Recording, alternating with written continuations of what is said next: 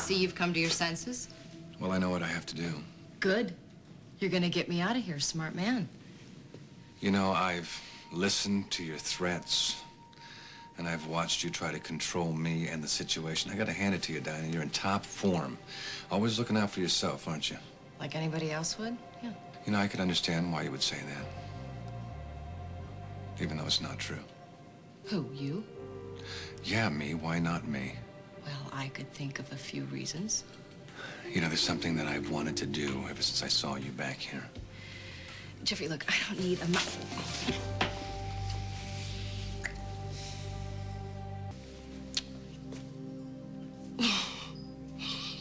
What was that?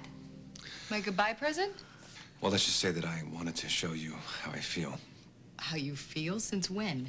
I've tried to get close to a few people in my life, but it never worked out. I always pushed them away. I don't know why. Maybe it was because I was afraid. But with you, there's something that keeps pulling me back. I don't know what it is. Maybe because I know you better than anyone, Maybe. and I don't judge you. And you make me feel alive. What do you want, Jeffrey? What do I want? I want you.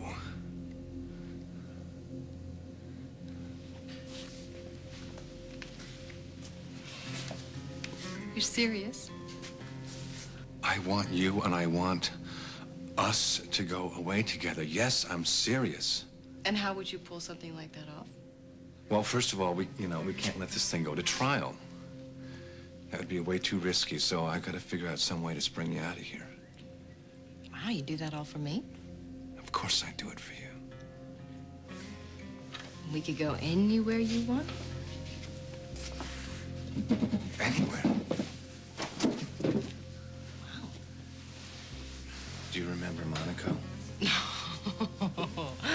I do. Yes, Monaco was a blast. This is very sudden. Hmm? You're the one that told me that I don't belong here, right? That I'll never fit in here. You won't. You're not gonna fit in here either. I could. You want these people hmm, constantly judging you? Do you want those people around you all the time? No. You need that about as much as I do. Well, mhm. You're right about that. Okay, so what do you say? Huh? Let's get out of here.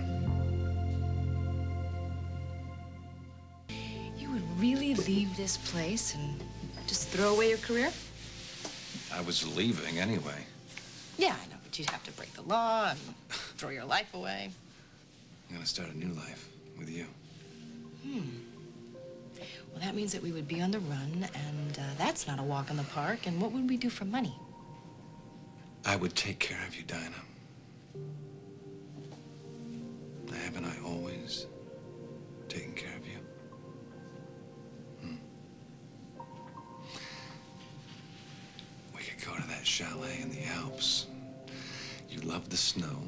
You could ski all day. We could spend our nights in front of the fire. Mm-hmm. Yes, and that sounds incredibly romantic, yes, but how long could that last?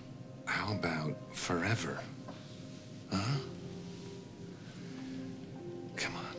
We're gonna get out of here and we'll leave these messed up people to their messed up lives.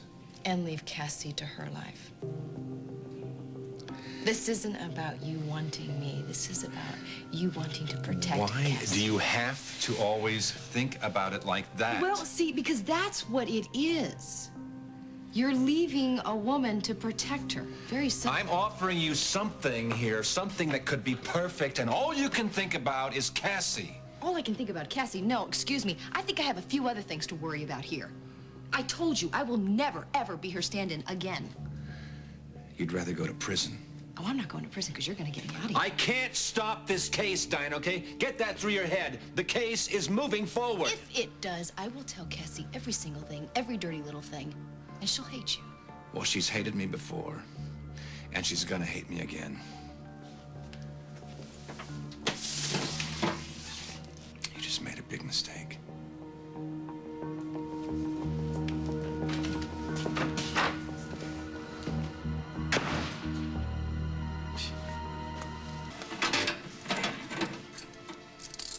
Stay put, okay?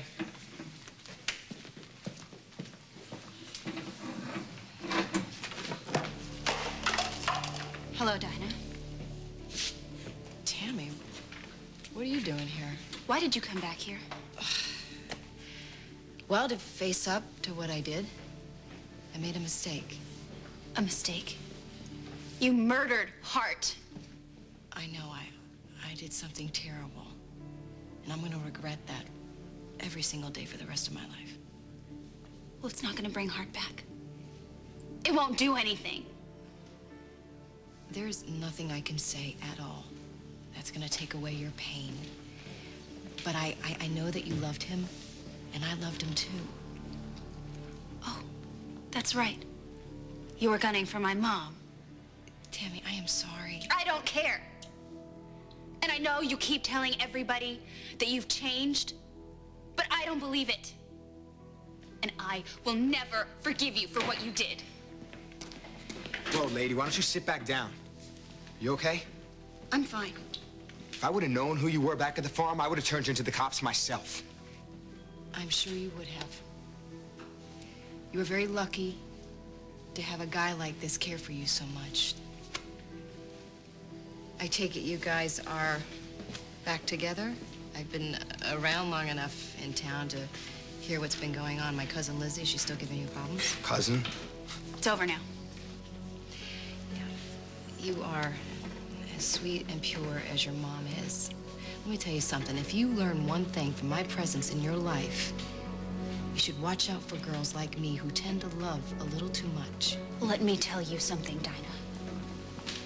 I'm not scared. And neither is my mom.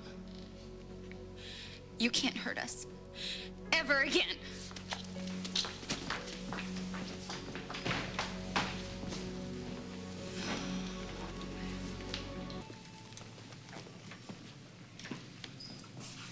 So, what were you doing with RJ? I know that you were his imaginary friend. Mm-hmm. So what were you hoping to accomplish? Were you going to get him to trust you and then kidnap him? What? Oh my God. RJ is Hart's son. I helped bring him into this world. I would never do anything to hurt that boy. But you would do something to hurt Cassie. No. No. If I wanted to hurt Cassie or RJ, I had plenty of opportunities. So your life on the run has changed you, is that it? You wouldn't kill anyone, but blackmail's all right? Well, I prefer to call it self-preservation. Call it whatever you like. It doesn't matter. Cassie is more determined than ever to see that you're prosecuted to the full extent of the law, and I'm not so inclined to disagree. Well, I think maybe you should rethink that. Because if I go down, you go down with me.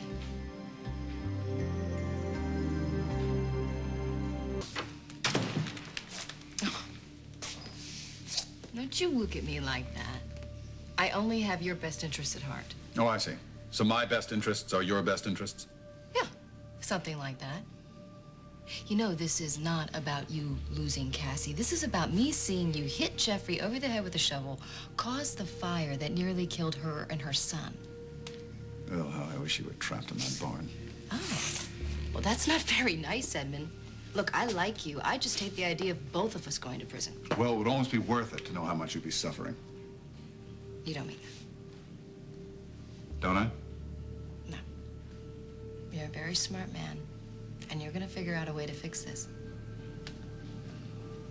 If I ever think that you're a threat to Cassie and her children again, I will tell her everything. And risk losing her? I don't think so. I think that you want to hang on to her. I think I've seen that firsthand. Don't test me. Okay. Look, I don't want to get ugly here. I want to keep your secrets. I really do.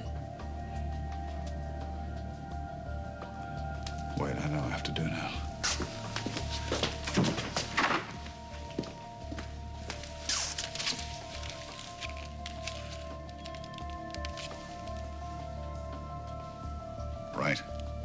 Need a favor. And I need you to be discreet.